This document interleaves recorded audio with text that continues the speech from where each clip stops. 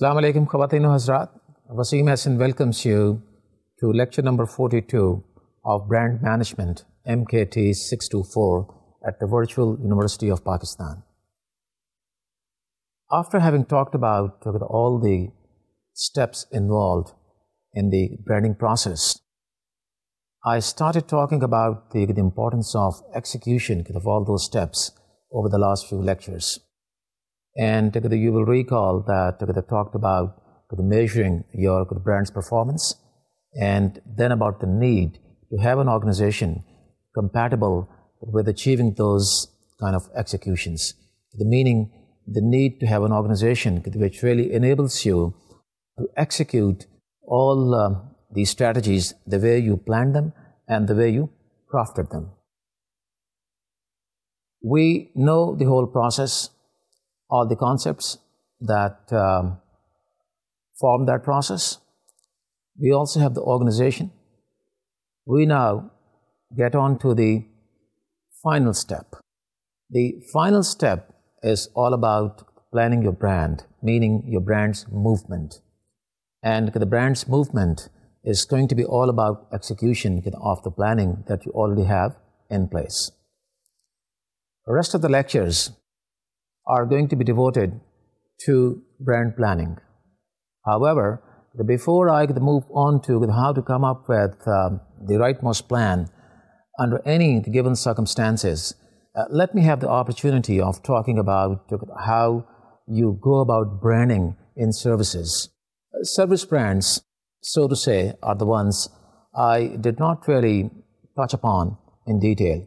I have been giving you examples here and there in relation to the various concepts, but uh, how to brand a service and leverage that as a branding process is something I'm going to talk about now because I think an understanding of um, the, the, similarities of the branding process relating services with branding process relating uh, tangible brand products is very important before we start talking about the brand plan. Branding in services is gaining popularity.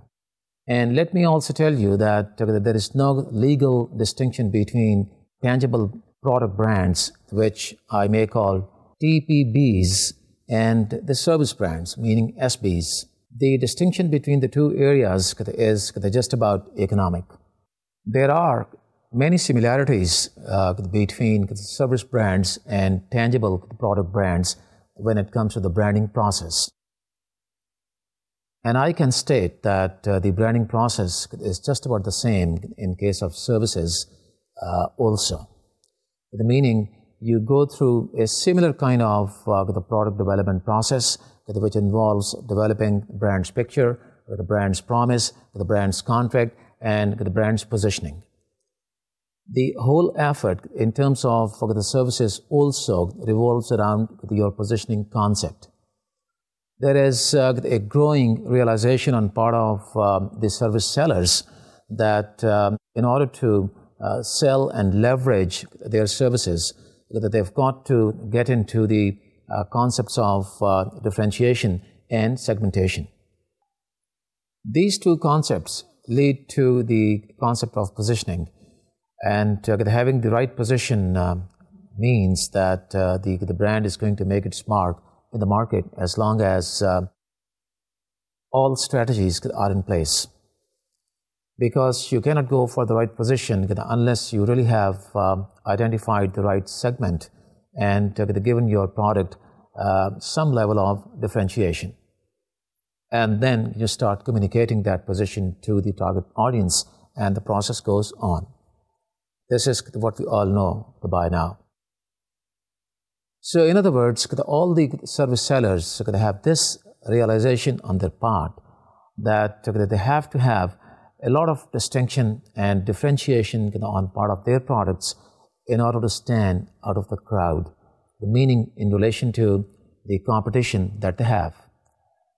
They all are in a branding age, and unless they treat the products that they sell as proper brands, there's no way that those products are going to be leveraged. With the exception of banking, insurance, and uh, some computer services, uh, most of um, these services are a combination of products and services. Restaurants, for example, airlines, hotels. So, what I'm talking about is that while these services are sold, customers do get in contact with the tangible products also. Either they get into contact with those products or they use those. Restaurants, you buy something very tangible, but it is a service which is sold as uh, the last part of the product. So, what is it uh, that really is the difference between uh, the products, meaning tangible products, and services? That is something we really have to look into. So, in other words, we are going to concentrate on the service element and to see the what is it that we need to do in order to brand that. The basic uh, the difference lies uh, in relation to four different elements when it comes to branding your services. One is the factor of uh, the intangibility. You cannot see a service, you cannot feel it, and you cannot touch it. Perishability is the, the second element, which means that we cannot really store these services uh, like we store inventories. The seeds not sold today are lost forever. So that is what is meant by the perishability. Inseparability, a very important element of uh, the services, the meaning the one which really differentiates services from uh, tangible products. And this means that you really cannot separate services from products. A service is sold at the time it is delivered. So that is what is meant by inseparability. The fourth factor is that of variability. Services are offered by the people who vary in temperament, in behavior, and also in their values. So, one service offered at one particular time may not be the same when it is offered at a different time by a different person. So, these are the basic elements which uh, differentiate services from products. All this can be summarized in two important statements. One is that uh, the operations and marketing, uh, in case of uh, the service selling, are more intertwined in comparison with the, the tangible products because they're sold at just about the same time. The banks and restaurants are the excellent examples of uh, this statement. The other is that uh, everybody within the organization has got to be educated on the core value of the service which is to be delivered. And that calls for the need uh, of uh, internal marketing. So we can see that uh, service selling, uh, although uh, is subject to the same the branding process uh, of the brand picture, the brand promise, the brand positioning, and all that, but then at the same time, it may be a little more difficult because of the elements that I've just talked about. What are those difficulties? Let us talk about those one by one. Uh, first of all, we can say that the services can be copied easily. It is because of this factor that the service sellers find it hard to bring about meaningful differentiation when they start marketing their products for the simple reason that uh, a service product cannot be uh, showed or demonstrated the way a tangible product uh, can be showed and demonstrated. And it doesn't really take uh, as much investment to develop a service as it does to develop a tangible product. You have to go through the manufacturing process and uh, what you're supposed to be doing in order to get all that uh, is known to you all. Whereas service selling is something which uh, can be started by just putting up a small office or a small shop, and from there you just go on. So this is one of the difficulties involved in selling of services. The second is that uh, the services are uh, hard to summarize and um, communicate. Why is it hard to uh, summarize the services? is again because of the intangibility of services. When you are dealing with the tangible product, it can be easily communicated because of the uh, physical features that uh, you really can throw light on.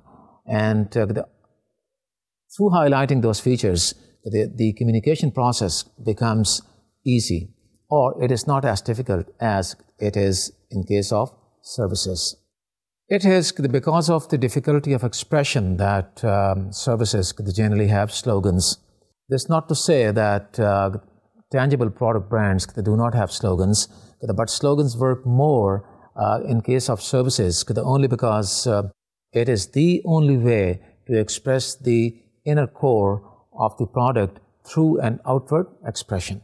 And in other words, it is only through that expression that we can talk about the service which otherwise cannot be shown or demonstrated. To what extent that expression is uh, appropriate or not appropriate is a separate issue, which really brings us back to the concept of positioning. How well it is uh, positioned, meaning the product, how well the brand's picture was created, and uh, the promise it really carries, and uh, the level of differentiation in terms of the benefits which the product offers all those things have got to be taken into consideration uh, before uh, you start uh, expressing yourself with the help of a slogan. So if the slogan is effective, communication is effective, and the service really stands differentiated, very well um, positioned into the minds of the consumers. So it is a big challenge when it comes to the selling services.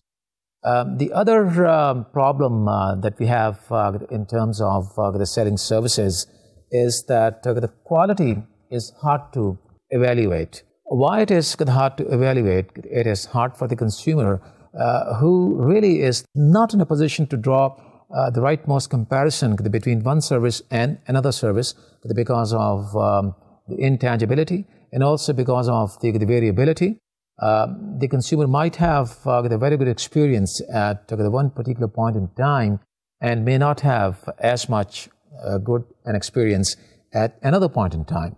So it becomes difficult for the consumers to draw comparisons between different services. It also is uh, kind of difficult for uh, the sellers because uh, they find it hard to communicate. And uh, this, you know, takes us uh, back to the um, concept or the, the difficulty which I talked as uh, the difficulty number one. It um, really offers uh, the buyers the problem of uh, not being able to size up or uh, judge the value for money when it comes to the brand they buy. And this further leads to pricing problem uh, on uh, uh, the part of the sellers. Only because uh, the customers really are uh, in a fix as to how much value they are uh, getting out of the buying one particular service, the sellers could find it difficult at times to go for the rightmost the pricing mechanism and the rightmost pricing point. Another uh, difficulty which is uh, offered by service selling is uh, that of the standardization.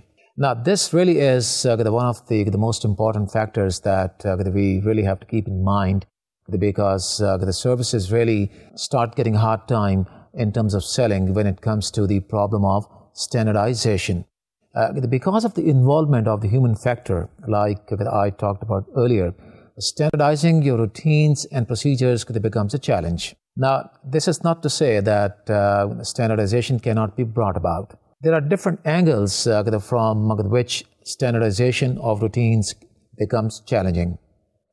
The paradox in um, this area comes in when uh, there's a conflict between uh, the motivation and empowerment. Let me try to explain these two concepts of uh, the motivation and empowerment in the context of uh, problem of standardization.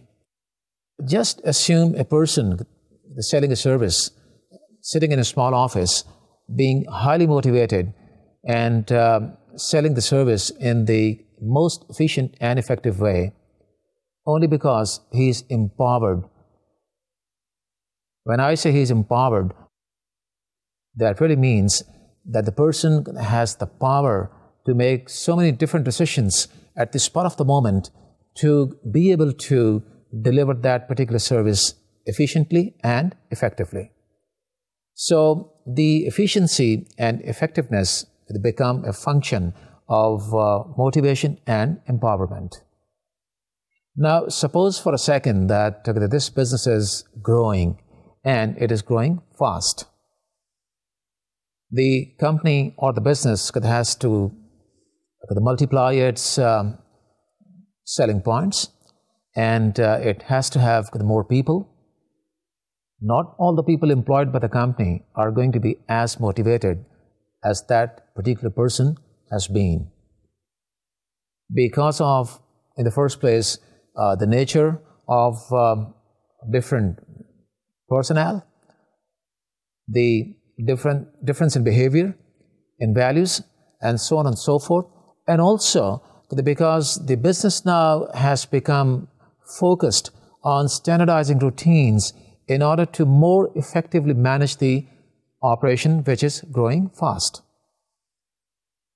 To manage all that, you start incorporating so many different standards and that is something you know, I've been talking about uh, in relation to different concepts all over the course. And uh, because of those standards, what happens is the element of empowerment gets diminished. And the same person you know, who felt so much motivated to deliver that service that efficiently and effectively that he became kind of an example for the whole lot, starts feeling a little less motivated, if not demotivated because he feels that the part of the power he had is slipping away from him. So that is where the challenge of the standardizing routines and procedures that comes in when you start selling services. The imposition of controls, in other words, bring in a conflict between motivation and uh, empowerment. The moment you start prescribing those controls things change and the challenge pops up.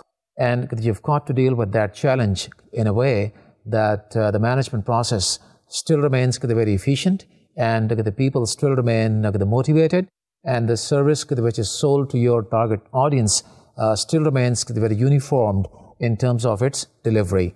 So that's where the challenge is. Another problem that we face while we sell the services is uh, that we cannot store inventories. Unlike tangible product brands, you just cannot store services in response to the fluctuating demand levels with the variation in seasons.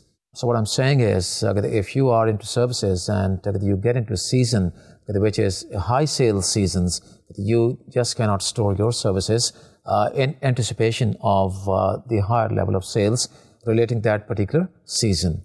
What you can do is only improve your service to cope with that challenge. An excellent example uh, relating this uh, syndrome uh, that could be payment of utility bills. You know how you guys could have to queue up uh, in front of the banks uh, in order to pay your bills. Now, this is one example of uh, service seller having a challenge of making sure that customers do not run into that kind of discomfort. An example could also be given in relation to a retail outlet which has stocked various inventories uh, in anticipation of um, the Eid season. But then when the shopping pressure builds up, the same retail outlet just cannot cope with um, the, the, payment uh, procedures because of uh, not having uh, a compatible the number of cash registers um, with the number of customers uh, who have walked into the store. So this is a challenge which the service seller has to face and then come up with some ingenious ways of coping with these kind of pressures. Having talked about the, the problems that the service sellers face, we must also look into the solutions service selling is uh, difficult, but then at the same time, uh, there are certain solutions which uh, make these problems soluble. Uh, what are those uh, solutions? Let us talk about those. The first one is uh, that you have to capitalize on additional elements. What is that? Um, let me explain. The Service selling is not full of handicaps. It might have sounded like that so far, but the fact is that while you sell services, there are certain elements which are additional elements, and uh, those are not there while you sell tangible products. And uh, if capitalized the very sensibly and strategically, those really give you a competitive advantage in terms of uh, leveraging your brand. Those elements are additional three P's. That's the way those could be expressed. The first P stands for people, and the second P stands for uh, process, and uh, the third P stands for physical evidence. So, in other words, what we are talking about is the possibility of uh, cashing in on these three additional elements in order to give strength and power to our brand that basically is a service brand. Now, let us try to understand what these uh, three additional P's really mean and what really is meant by uh, people and by process and by the physical evidence. Well, talking about the people, I would like to draw your attention back to the example of the courier. The reason uh, that this particular courier service is uh, the market leader and enjoying a price premium uh, is because of the people it has in place. And whatever strength this company has owes to the quality of the human resource, meaning people the company has.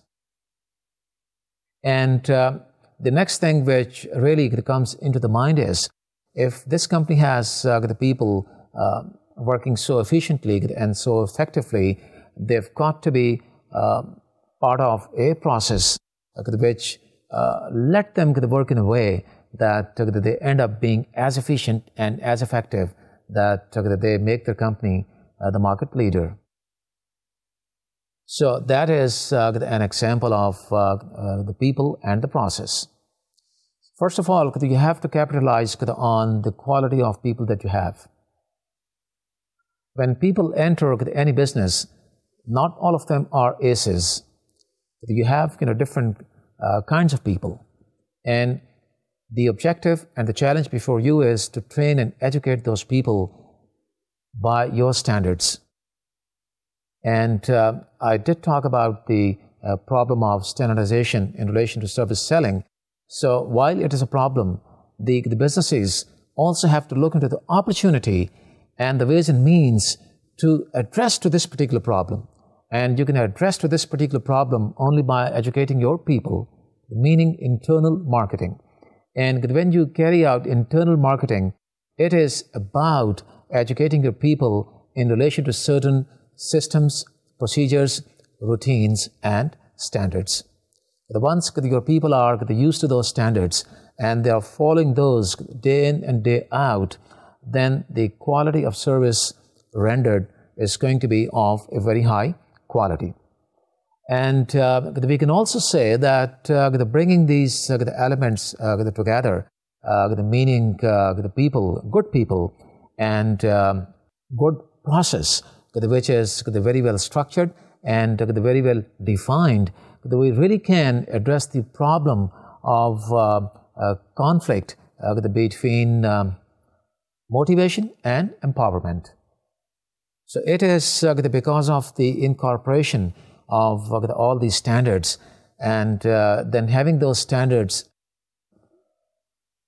followed by all the people within the organization, you make sure that um, your standards are executed in the best possible way. Another example of the people and the process could be that of an airline, which is um, communicating with uh, the target audience about uh, different kinds of foods which uh, the airline is willing to serve to its passengers in light of their uh, varying uh, socio-cultural backgrounds. So if an airline, in other words, is willing to show that, that kind of flexibility in offering uh, different formats of meals, so to say, then um, it has to have good people who are in a position to put all that into place and then deliver the promise uh, the way it was made. And if the passengers really trust this airline and they start buying the tickets, that testifies the, the positioning of that particular airline. It also takes care of uh, the problem of uh, the expression. And if the airline is uh, expressing its position from this particular point of view, then the expression becomes uh, easy because uh, this could be one of the, ways of the outward expressions of the inner core of the service that you sell. And if the airline thinks that this really could be the point of uh, positioning, if it really could be, then it really can uh, start uh, communicating that point, and through the people, it can prove that uh, it has just about the right quality of people who can uh, deliver that promise. Not only that, again, this uh, airline also seems to be having the right process in place, which really enables those the people within the company to execute what is demanded of them. It is a big challenge, but nevertheless, it is being met by not one airline, but the many of them. So the airline, in other words, is able to do that because of having a process uh, which is backed by, or which may be backed by, the latest uh, technological advances, meaning information technology.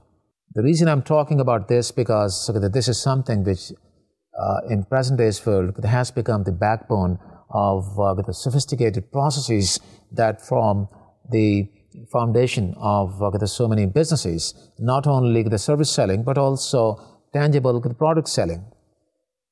And I would well like to draw your attention uh, toward uh, the area of uh, direct marketing and direct communication with uh, the help of internet. What this airline really is in a position to do uh, is that it can not only build up a beautiful data bank, but also keep on improving it with the passage of time in relation to the more and more passengers that travel this airline, and again in relation to their uh, diverse socio-cultural backgrounds. Isn't it a beauty that uh, the US part of uh, that particular airline know that you, you have passengers belonging to this particular uh, part of the region and that particular part of the region and this is how you should be planning your strategies in terms of uh, servicing food while having passengers on board. It is a great advantage which the airline can have to itself. So it is the information which basically forms the process which uh, highlights the strength of the, airline it has to itself or to the brand it is selling. Getting back to the courier service, let me now explain the third element, meaning the third peak, which is what you call physical evidence. Just think about this um, setup. Why is it that uh, the largest courier service in our country has so many outlets that look so much uniformed and uh, they all have the same manifestations in terms of their appearance, in terms of their decor, in terms of the uniforms of uh, the people working for uh, uh, the company, and uh, so many other appearances. It is because you really want to develop a very strong physical evidence of your appearance, of your existence. So this really is the importance of the physical evidence. In other words, if you are selling a service, however beautiful and effective it may be, but if you do not really have um, uh, the support of the physical evidence, then the selling is not going to be that much effective. In other words, while you are selling that kind of a standardized service, you've got to look into the branding process or the product development process just about in the same way as you look into the tangible products. Just like you like to create an identity of a tangible product by creating one particular package by the same token, you have to have the same appearance while you're selling services. That is why you have the same decor.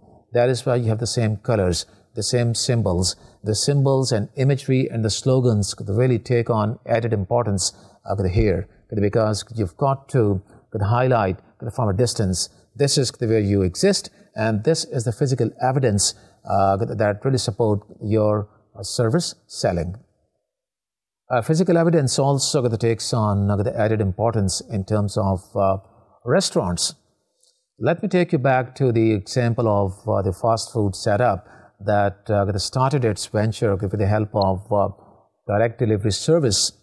And when you compare that with another restaurant, which is also into direct delivery, but direct delivery service of that particular restaurant is supported also by the physical evidence, meaning by uh, beautiful, standardized, the uniform kind of outlets, then that restaurant stands the better chances of uh, being uh, stronger in the marketplace. So that really is a stronger and a more powerful brand. Here also, the need to be uh, very uh, sensitive to the decor and the standardization of all the routines uh, that takes on uh, a lot of importance, significance because of the reasons which you know by now. Another uh, the solution to the problems of uh, the service selling is that you've got to innovate all the time, meaning you've got to innovate continuously. The reason you have to continually improve your product because it is going to be copied by others very quickly. So differentiation, in other words, is the name of the game. If you keep on innovating, you're doing that because you have you know, good people in place and those people are supported by a beautiful process. Or in other words, they are part of the process that I just talked about. So with the help of uh, the people and the process, you are in a position to continuously improving your product and differentiating it from your competitors. This uh, really uh, takes uh, importance, a lot of importance in terms of restaurants and also in terms of banks. If you take a hard look at the, financial products being sold by banks nowadays, you will know what I'm talking about. I mean, just look at uh, the credit cards and uh, the different kinds of credits available to you, the schemes offered by banks in terms of deposits and um, uh, car loans and home financing and so on and so forth. These are different examples of highly differentiated products which uh, banks could have introduced in our market.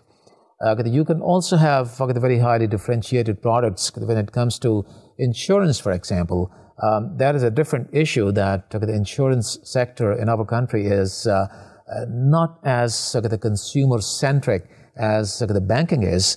And uh, the priority of that sector seems to be the big accounts in terms of the industry. Uh, I mean, uh, the different industries and uh, the not um, retail the consumers, the barring you know car insurance and, and the life insurance. But um, the other areas seem to stay the kind of untapped. I'm talking about this sector just for the sake of uh, giving you uh, examples um, that may clarify that you're thinking about um, the differentiation and uh, the innovation.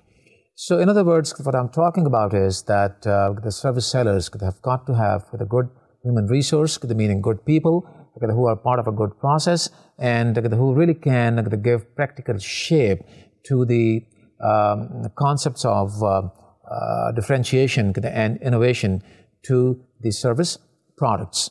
And uh, yet, in other words, I can um, say that uh, the, the process of uh, the branding in terms of the selling services has got to be the same, just about the same as it is for tangible product brands. The meaning you've got to come up with the right customer-based model for your service brands.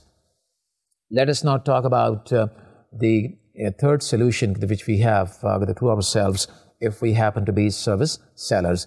That is to improve distribution. But just like uh, in the case of uh, the tangible product brands, you have to have a very good distribution system for selling your services because you would like to have an excellent outreach. And I think that this can be explained with the help of uh, the example of banks. Look at the number of branches which different banks could have all over the country. The reason they have so many branches is because they really want to create convenience for their customers to come and make transactions at the points of their preference. That is the point of sale, just like I talked about in relation to the tangible brands, I mean tangible products. So by the same token, you have to have uh, a very effective, a very intensive, and at the same time, a very extensive outreach. So what I'm talking about is that uh, the more the areas covered by a bank, uh, the higher uh, the number of uh, transactions or the higher the sales. Banks in today's the market have become very customer centric. And uh, I already have given you examples of the kinds of products they all are introducing. And that is one indication and testimony, rather, uh, toward the fact that uh, they certainly develop customer-based uh, models to develop their uh, the brands and then leverage those through a process which is very similar uh, to that of uh, tangible product brands. Another uh, solution to the problems that we're talking about is that you can make your brand tangible. Now, how you can you really make your brand tangible is through the uh, the physical evidence that I talked about. So, in other words, this solution is uh, uh, in continuation of uh, the the concept of uh, the physical evidence. The only important thing is that you've got to standardize the looks and uh, the appearances, the, the manifestations that are so much standardized and that are so much unique that the people really acknowledge your identity as a strong service seller. Just like um, in the case of the tangible product brands, you try to sum up all the benefits that your service offers onto positioning, meaning the outward expression of the inner core of the service that you're selling that has got to be expressed on the platform of positioning, which basically is the, the fundamental uh, relating uh, the uh, branding process. And uh, it all depends how you really would like to position the service that you are selling. Let us go back to the example of the airline all over again and suppose that this airline is highlighting its position of hospitality. Now, how is it that uh, the airline really can sum up the benefits on positioning? Uh, it could be through the picture of uh, a good-looking air hostess uh, with a smile that talks about hospitality. Now, it doesn't end there. Uh, it, of course, you know, starts there in a way that uh, the communication process is kicked off, but what it really boils down to is the ability of the airline to offer the kind of hospitality it is talking about. So if it is summing up the benefits uh, the way it is uh, delivering those, then the, the position is well taken and well occupied in the minds of your customers and you are successful in the branding your service the way that you are successful in the branding your tangible products. If um, there's an airline that uh, may like to highlight its positioning on uh, some other uh, platform, for example, the maintenance, then the airline would uh, like to talk in different terms. I think that goes without saying, and uh, the, the positioning has got to come up accordingly. The summing up of uh, those benefits is going to take a very different shape in comparison with the, hospitality that I've just talked about. Be mindful of that. That's very important. Another uh, solution that we have to ourselves as uh, the service sellers is uh, using of testimonials. Uh, those services which uh, really cannot be summed up on positioning have to have the support of uh, the testimonials by celebrities or by those people uh, who are important and who really mean something uh, to the target audience. If uh, you cannot really go for the kind of the campaign as I talked about in relation to the airline, or if you cannot show an, um, an umbrella, for example, if you are selling insurance, if you cannot show a bird's nest um, you know, full of eggs with uh, the mother bird sitting right on top of it, uh, protecting it, then you've got to make use of the testimonials. You have to have uh, those people who really can talk about the, benefits and uh, they can talk in terms of uh, the benefits that they have derived out of the service uh, that you sold them. Um, nothing uh, that gives credibility to service more than uh, somebody important telling the target audience that uh, that somebody is highly satisfied with um, the service that you are selling. So it goes without saying that while you use testimonials, the claim that you're making uh, through the celebrity has got to be very consistent with the positioning. And uh, we are getting back to the same old concepts that uh, we've been talking about all along the course. And I don't really have to throw more light on that. So as long as you are very consistent with the, the positioning, the testimonials are going to be useful and uh, they're going to have their own utility. So this is one of the ways that uh, we solve our problems in relation to service selling. Another uh, thing that we really can do is uh, develop a very good relationship with, uh, all the um, customers that we have while we sell services. We know that uh, in most of the cases, when we sell services, we create a data bank and uh, then we maintain that data bank. If you are a bank, you have the name of each and every customer.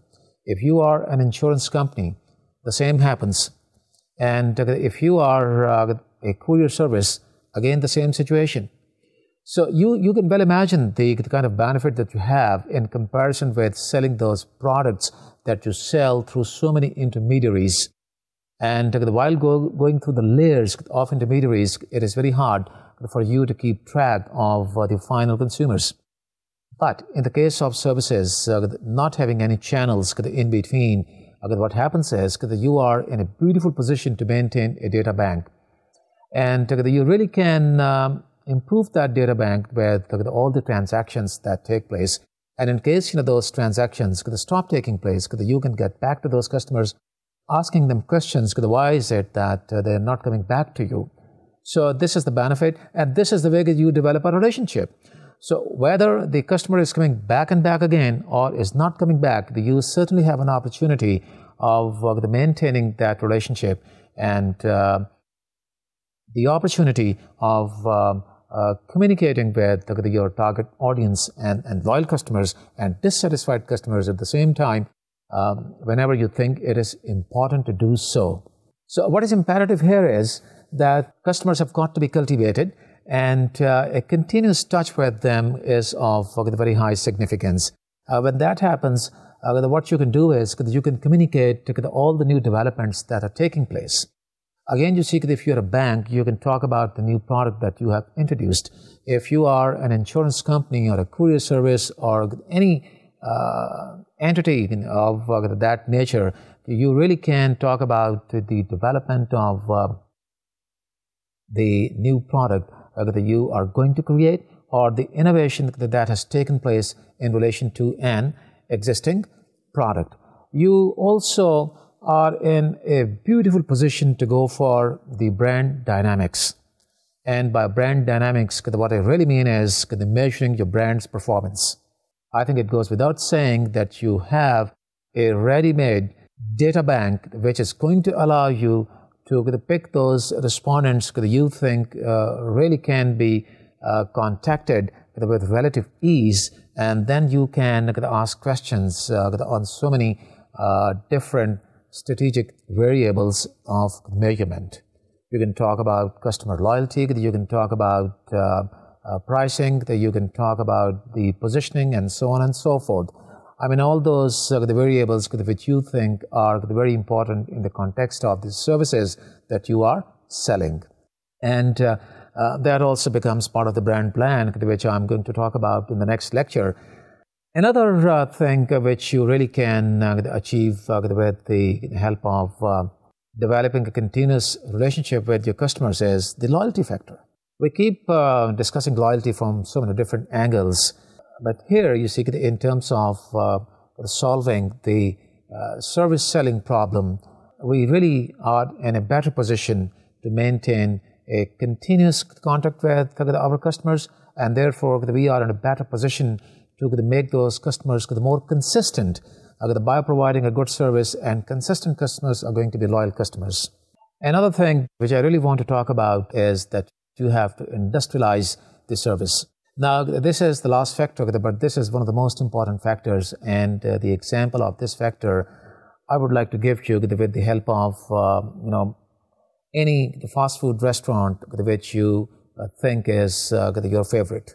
Uh, all the fast food restaurants in our country are the big chains, and uh, the way you know they prepare their food and the way they sell that uh, is known to all of us. They really have industrialized the service by making routines and procedures are so much standardized that uh, it is it has become kind of an industrialized process. So the, what it really boils down to is that the process that you are going to create or you have created for your service has to be so much standardized that it, should look and it should have the essence of uh, an industrialized concept. Make sure that all the variables of uh, the standard procedures do create and achieve a balance between um, motivation and empowerment. That is uh, very important. And if you really can achieve that, you are managing your service brand beautifully. The last factor is the education of uh, the staff members. Unless communication takes place to the effect of um, educating your people about the delivery of the service, meaning the way it is going to be delivered and the essence of uh, that delivery, uh, there is just about no way that, those people are going to be very effective while delivering that service.